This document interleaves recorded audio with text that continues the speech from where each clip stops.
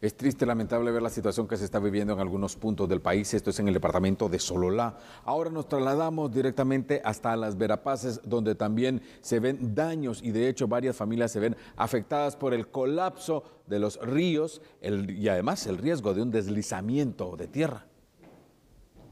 Por la saturación de agua en los suelos, a consecuencia de las fuertes lluvias que se han registrado en las últimas horas, se reporta deslizamiento de tierra en la comunidad Chamil, en el municipio de San Juan Chamelco, en el departamento de Alta Verapaz.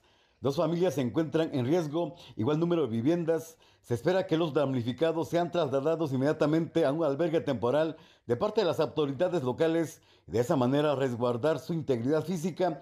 Las lluvias se presentan en horas de la tarde en esta región norte del país.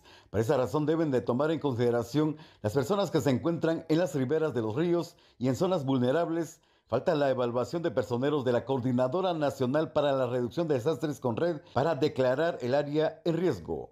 Desde Alta Verapaz reportó Walter Más.